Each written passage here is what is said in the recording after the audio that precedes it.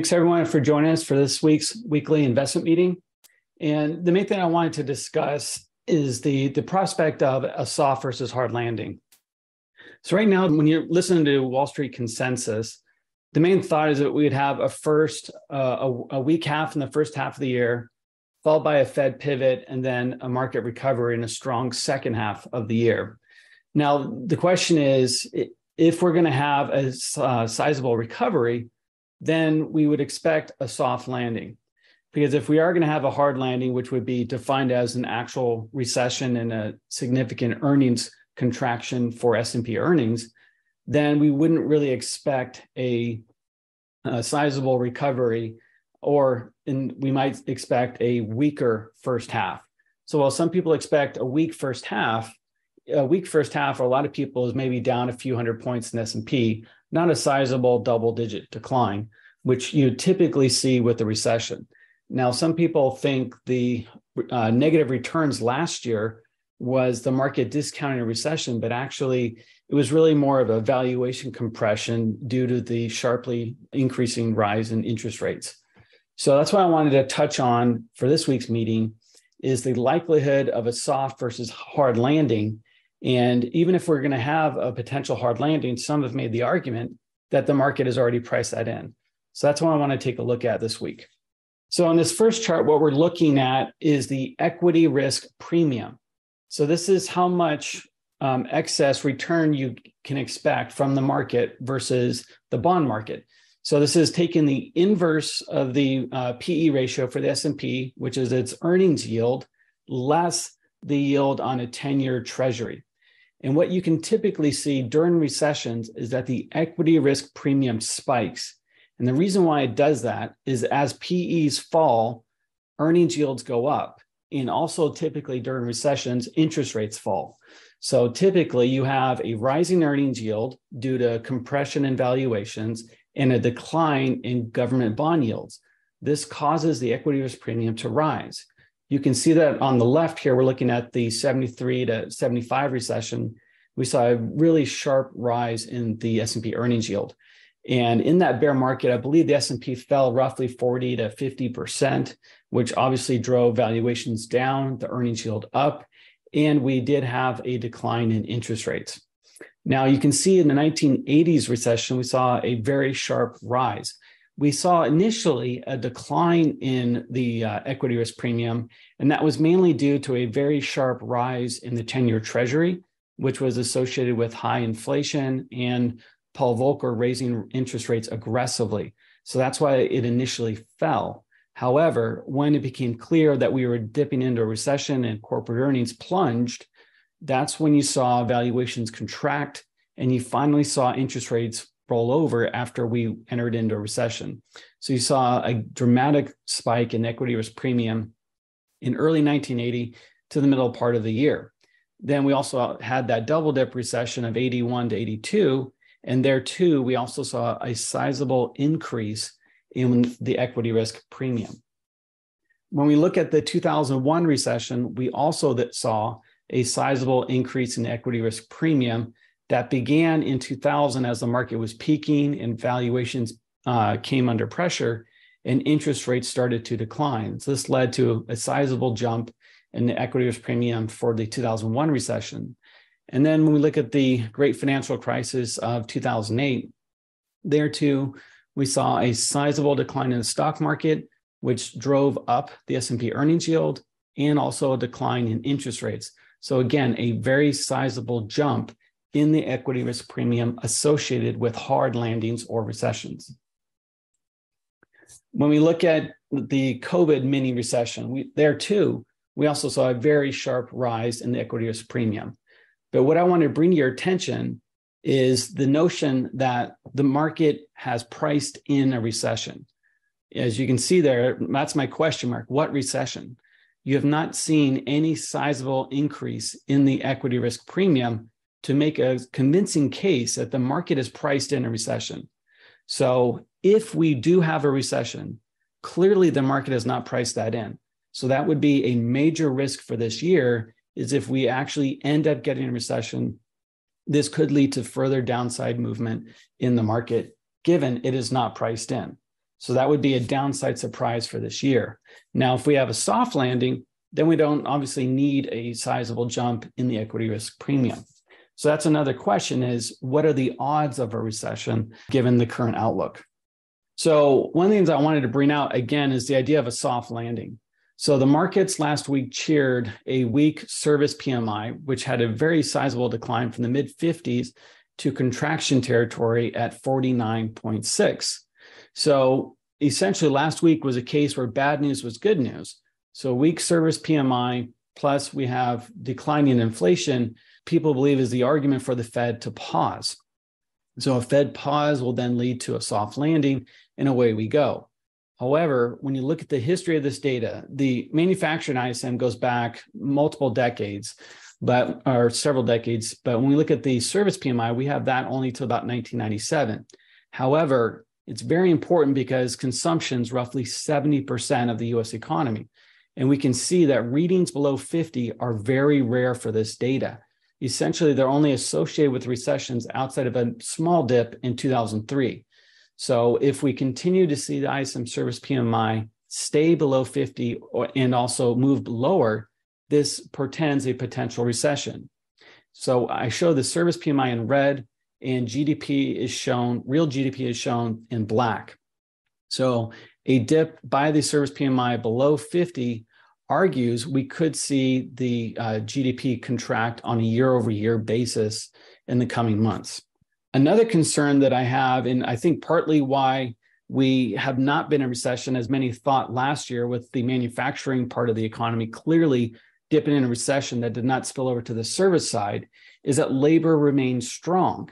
Now, one of the things you typically see when you go into an actual decline in payrolls is that businesses tend to let go of their temporary workers first before they let go of full time, more experienced staff. You can see this looking at the 2001 recession, which is that red bar on the left. You saw first a peak in temporary payrolls in about the middle part of 2000, while actual non farm payrolls didn't peak until early 2001. You also saw an earlier recovery in temporary employment before you saw that non farm payrolls. And again, when it looks like the economy is turning around, but it's not certain, businesses will initially hire temp employees before hiring full time. And when there's conviction that a recovery has started, that's when businesses start to hire full time employees. Now, on the right, we're looking at the 2008 recession, and you can see that temporary employment peaked roughly early 2007, about you know 10 to 12 months before the onset of recession, while non-farm payrolls really did not peak until the early part of 2008 when we were already in a recession. And also notice that temporary employment bottomed right when the recession ended, while non farm payrolls continued to decline almost going into 2010. So, again, temporary employment tends to lead both at tops and bottoms. When we look at the present situation, we see that it does look like we're starting to see a rollover in temp employment. Non farm payrolls continue to climb, but if we see temp employment continuing to roll over from here, that would argue that we're probably going to face a recession in the back half of this year. Another warning sign of a possible recession is looking at continuing jobless claims. And what I'm looking at here is the six month rate of change, and I've smoothed it by about one to two months. And that has surged by 26.5% over the last six months. Typically, readings north of 15% are associated with recessions. So clearly, we are seeing something that is often only associated with recession. So, again, another notch for the hard landing camp versus the soft landing camp. Next, looking at leading indicators of unemployment, those are also turning up. So, in black, we're looking at the U3 unemployment rate, which currently sits at 3.5%. When we look at the blue line, that's the Conference Board's Employment Trends Index, which typically leads payrolls by around two to three months. That's stabilized in the middle part of 22, and it does look like it's starting to turn up. I've shown it here with a three month moving average to smooth it, but the actual number is even lower. And I show it here inverted for directional similarity. Now, it has a really long leading time of roughly 10 to 12 months is this uh, NFIB, which is a small business lobby. It's their jobs openings hard to fill. That is declining. Again, this is shown inverted for directional similarity. And this would argue that in the next couple of months, we could see the unemployment rate rise from its current three and a half to nearly a four and a half to five percent rate. So that uh, would be a definite concern and more of an argument towards a hard versus a soft landing. And again, the reason why I'm going through this is to first lay the case that the market is not priced in a recession. So if we do end up getting one, which is what the labor data I'm showing is indicating, then the market likely has more downside potential and the upside is probably limited.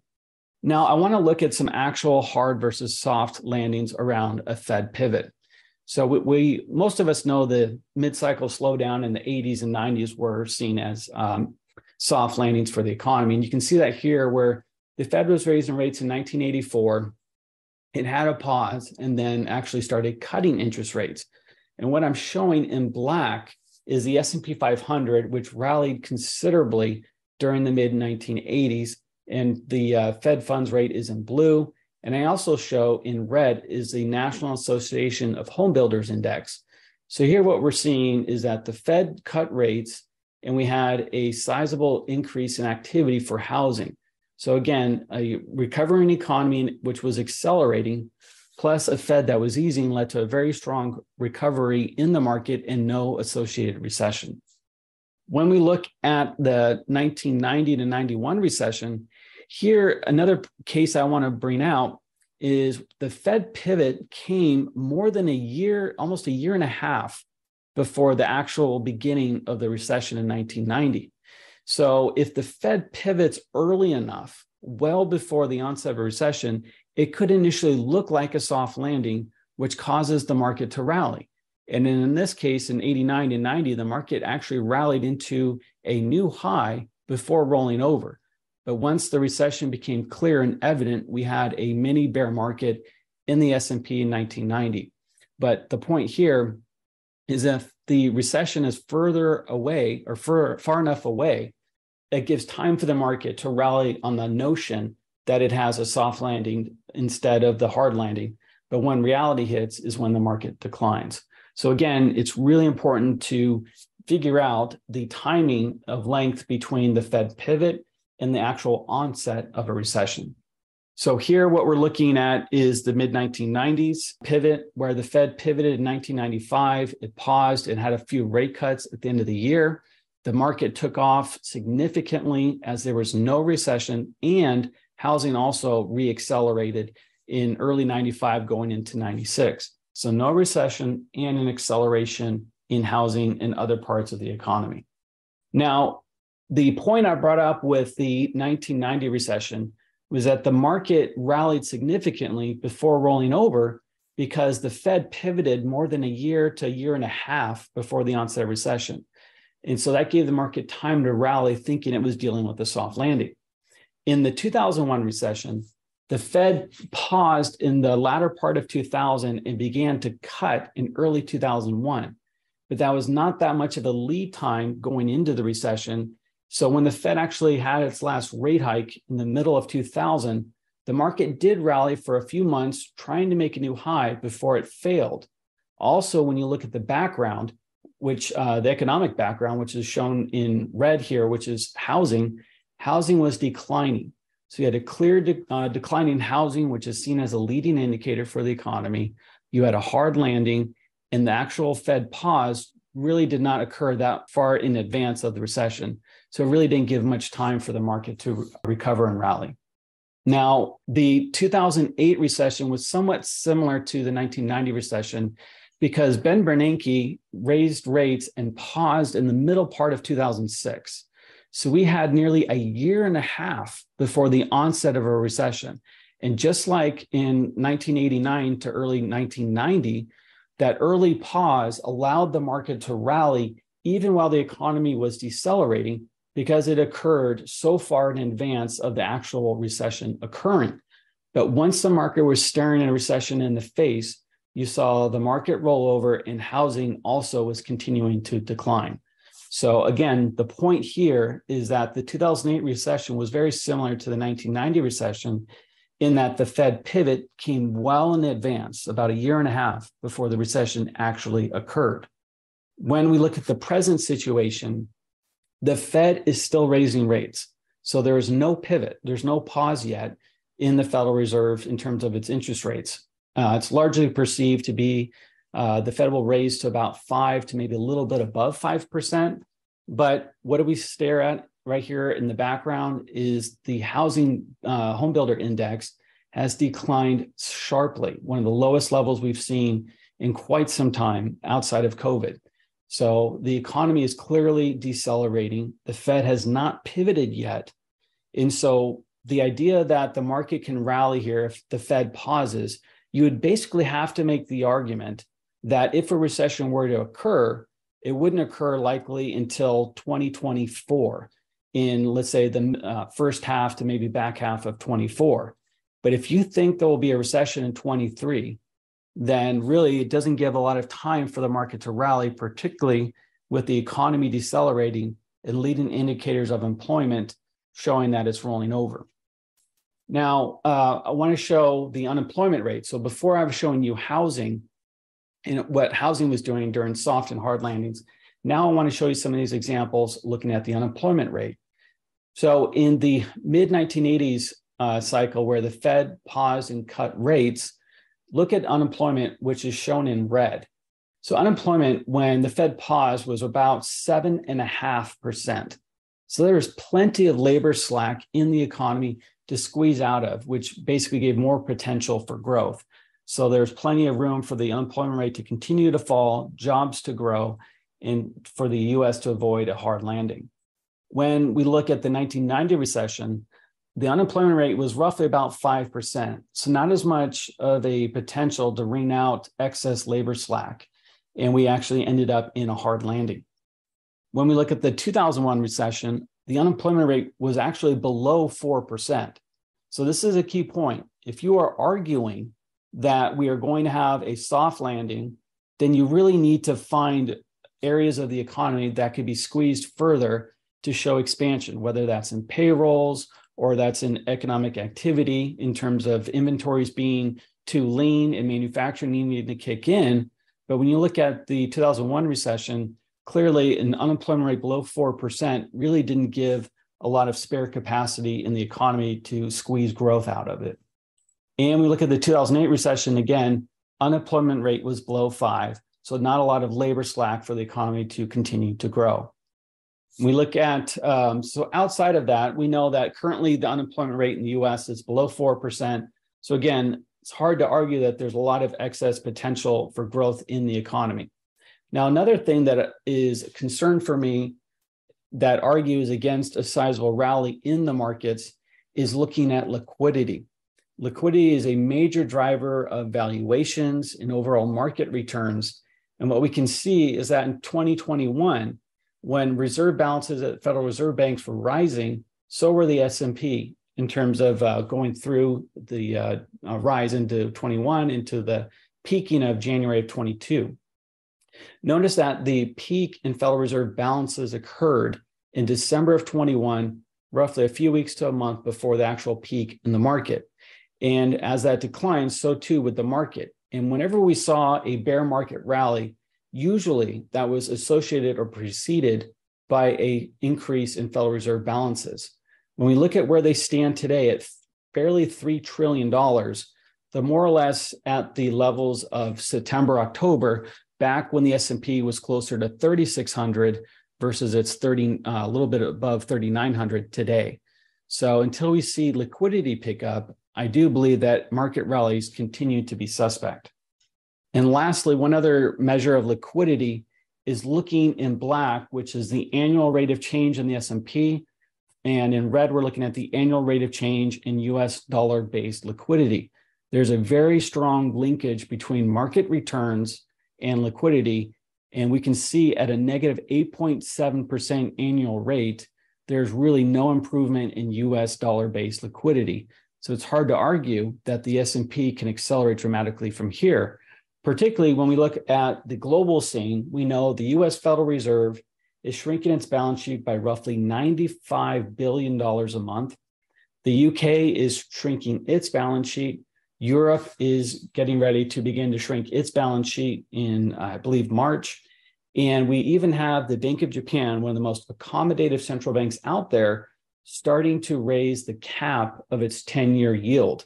At first, from a quarter of a percent to now half a basis point or half 1%, and likely even pushing that higher. So this is a concern is with liquidity falling at the big four central banks. And central banks have been the largest buyers of government debt. There could still be pressure on sovereign bond yields to rise as there is a mismatch between demand and supply. So the again, the main points I wanted to touch on today was the argument that the market has discounted recession or that we're going to have a soft landing. I don't think the market clearly is priced in recession yet. Again, I think last year was all about valuations being compressed due to falling liquidity as well as uh, rising interest rates. But I think the market has yet to price in an actual recession.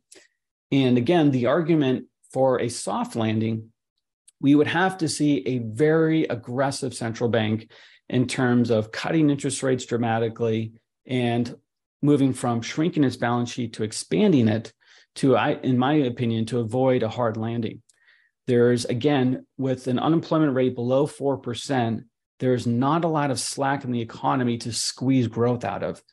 So I think the odds are stacked against a soft landing, which is why I think market participants should be looking at the market from a defensive lens and not yet ready to jump in. I think the market needs to prove itself for those who want to become bullish. I think there's just too many headwinds for the market at this time. Thanks everyone for joining us for this week's weekly investment meeting. We hope you have a wonderful week. That concludes this week's Financial Sense Investment Summary. If you have any questions about any of the topics discussed or about any of our personalized investment services, feel free to give us a call at 888 486 3939 or email us at grow at financialsense.com. Also, listen to our podcast, Financial Sense News Hour. It's on iTunes, Spotify, or on our website at financialsense.com.